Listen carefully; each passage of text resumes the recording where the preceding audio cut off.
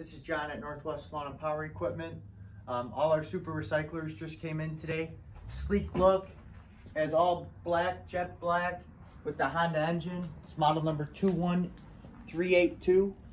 Got cast aluminum deck, hose attachment to clean underneath.